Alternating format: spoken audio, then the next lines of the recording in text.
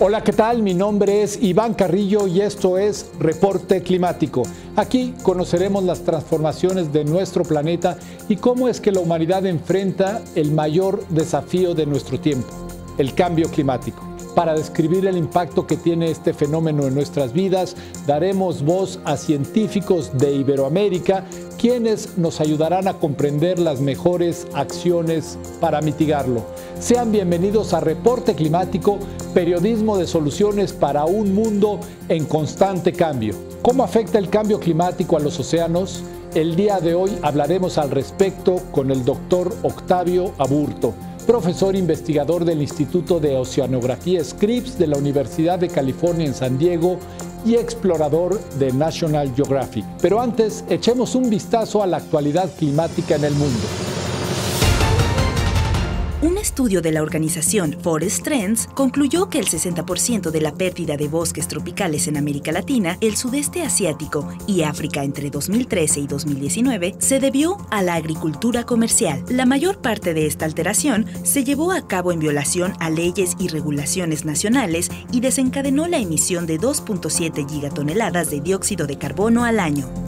Los autores del estudio subrayaron el papel que juega China, Estados Unidos y la Unión Europea en esta problemática, pues demandan productos como carne de res, soya y aceite de palma, que provienen de las zonas más deforestadas. La investigación señala que los consumidores deben asegurarse de que lo que compran no está ligado a la pérdida de bosques y es un recordatorio de que no podemos abordar el tema del cambio climático sin hablar de la deforestación.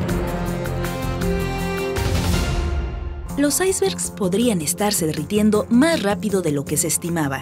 Según un estudio matemático realizado en la Universidad de Sydney, conocer el ritmo de este fenómeno es importante porque la liberación de agua dulce en los océanos afecta las corrientes marinas y el clima. Los resultados de la investigación ayudan a explicar por qué regiones con ubicaciones geográficas similares tienen regímenes climáticos diferentes. Por ejemplo, Alberta, Canadá, es más fría que Gran Bretaña, pese a que se encuentran a la misma latitud. Luego de que se prohibiera la tala de árboles en Java Oriental, Indonesia, un grupo de exmadereros cambió de giro y durante los últimos años se ha dedicado a reforestar con el apoyo de autoridades locales. Además, han adaptado su economía al aprovechamiento sustentable de los recursos a través de actividades como el ecoturismo y el cultivo de hongos comestibles. Esta historia, publicada por Climate Tracker, es una muestra esperanzadora de las acciones para reducir millones de emisiones de CO2 mediante la conservación de los bosques tropicales en la isla más poblada del mundo. Gracias por permanecer en Reporte Climático. Conversaremos ahora con Octavio Aburto, quien desde la ciencia, la exploración y la fotografía se ha dedicado a hacer un llamado para la conservación urgente de los océanos? Pues estamos eh, enfrentando varios retos. El estado de conservación de los ecosistemas marinos atraviesa grandes retos. Estos retos van desde el cambio climático, que es algo planetario, es un reto a nivel mundial, hasta los problemas locales como son la sobrepesca, la contaminación y también la destrucción de hábitats. Te diría que estos grandes retos se tienen que solucionar en la siguiente década para poder mantener ecosistemas marinos viables para la humanidad. Rescatar algo inmenso como los océanos se antoja imposible. Sin embargo, Octavio Aburto señala que la clave de esta tarea titánica está en las acciones locales y en un ingrediente esencial. Hay muchas acciones que se pueden hacer en una década para lograr cambios importantes y mitigación eh, para mejorar los ecosistemas marinos. Principalmente aquellas acciones que se pueden llevar a cabo de manera local por comunidades, por, pueblos o por ciudades, eh, donde la protección de áreas marinas protegidas, donde el reciclaje, la disminución de consumo de plástico, eh, pueden ayudar a, revertir mucho de lo, que, de lo que estamos viendo en los mares, en los océanos. Hay experimentos, hay evidencia clara que se pueden hacer grandes cambios en una década, sí y solamente sí hay voluntad eh, política y hay voluntad de toda la gente para que esos cambios se hagan. Pero revertir los efectos del cambio climático en los mares a nivel global tomará más tiempo.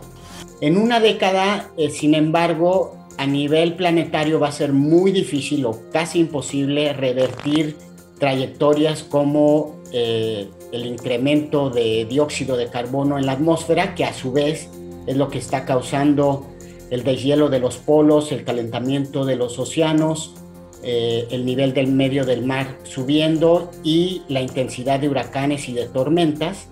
Sin embargo, en una década se puede perfilar y se puede sustentar cuáles pueden ser los cambios para que en los, en los, en los siguientes 50 años se pueda eh, reducir nuestra demanda de combustibles fósiles y hacer un, un gran cambio eh, en 50 años o en los siguientes 100 años. Pero esta década tiene que ser fundamental para que a nivel planetario entendamos que ya no podemos depender de los combustibles fósiles.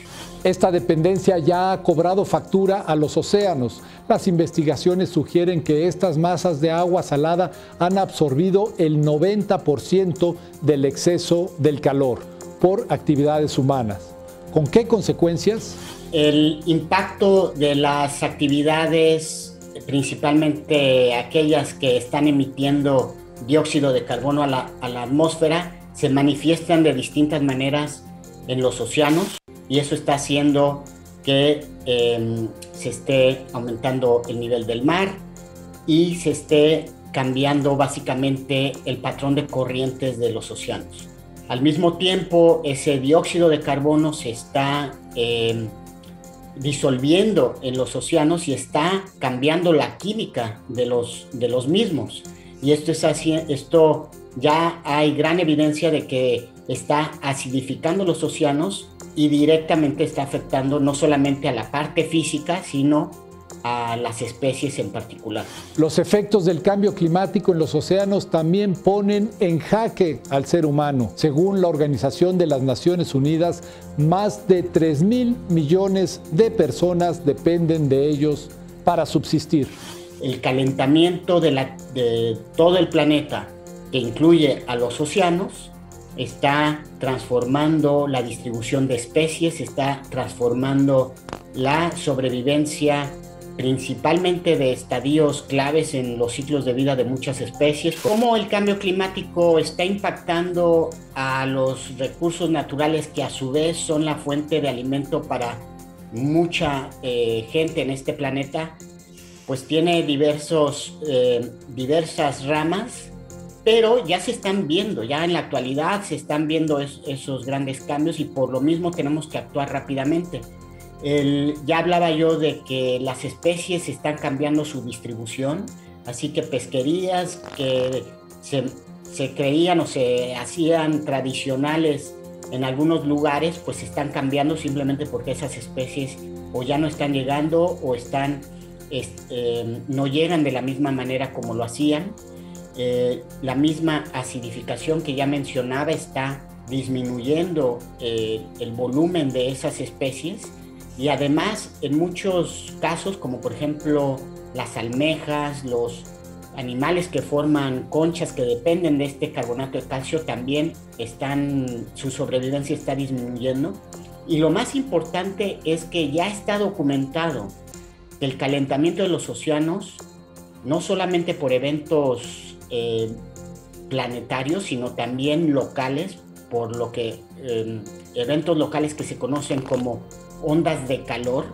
Esas ondas de calor están aumentando su frecuencia y están disminuyendo la productividad de los océanos, es decir, las pequeñas microalgas y los pequeños animalitos que se conocen como plancton están disminuyendo y esa es la base de la cadena alimenticia para muchas especies que después se convierten en las pesquerías que consumimos o que tenemos en muchos lugares.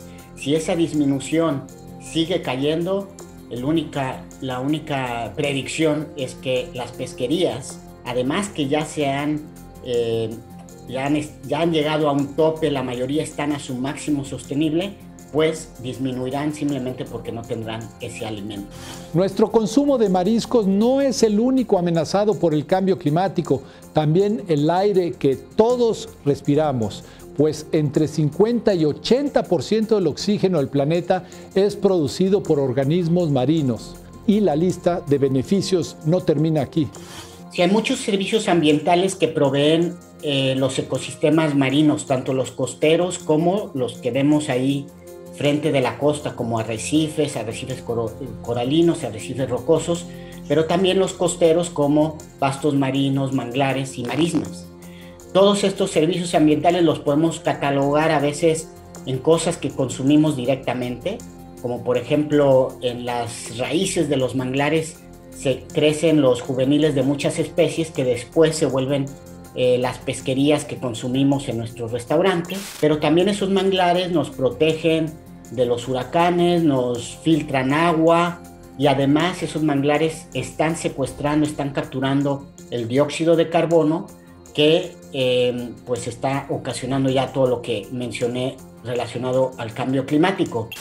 Además, los arrecifes coralinos u otros ecosistemas marinos, como por ejemplo las algas cafés, estas que se llaman algas pardas, bosques de kelps, esos eh, ecosistemas también capturan eh, dióxido de carbono, son muy buenos em, ecosistemas que están ayudando a mitigar el efecto del cambio climático, pero además son los hábitats de muchísimas especies. Por si fuera poco, de los océanos dependen actividades como el turismo. Se calcula, por ejemplo, que tan solo en México el buceo asociado a dichos ecosistemas deja una derrama económica anual de 725 millones de dólares semejante a la de la pesca nacional. Estos servicios ambientales que los ecosistemas nos proveen serían maximizados si tenemos estos ecosistemas en su mejor estado de salud. Por eso la deforestación de manglares, por eso el cambio de los arrecifes de coral o el impacto de la destrucción de muchos hábitats, es importante que los eh, detengamos para poder seguir teniendo estos eh, e, servicios ecosistémicos. ¿Y qué puede hacer cada ciudadano al respecto? Octavia Burto destaca tres acciones. Primero, informarse más sobre lo que está pasando en los océanos. Tenemos países, México por ejemplo, el doble de su territorio son mares y se habla muy poco sobre lo que está pasando en los mares mexicanos. De hoy en adelante la participación ciudadana debe de ser para lograr una, unas mejores sociedades para tener un bienestar social mayor. A lo largo de su carrera, Octavia Burto ha sido testigo de que los mares se pueden proteger y de que esto es una esperanza contra el cambio climático? Bueno, lo que yo disfruto de explorar, de viajar y de, y de ir a conocer más sobre estos ecosistemas marinos es llegar a un sitio donde se puede apreciar que eh, se ha cuidado, se ha mantenido o incluso se ha restaurado. Eh, hemos estado visitando muchos lugares, por ejemplo en México, islas o archipiélagos alejadas de la costa, donde te puedes dar cuenta que las poblaciones de tiburones, las poblaciones de mantas gigantes se mantienen en un estado prístino y, qué bueno que los gobiernos estén protegiendo estos lugares, pero también me da mucho gusto ir a lugares donde las comunidades han decidido eh, transformar su realidad y en lugar de irse a la sobrepesca, a la destrucción, ellos han querido revertir esos problemas.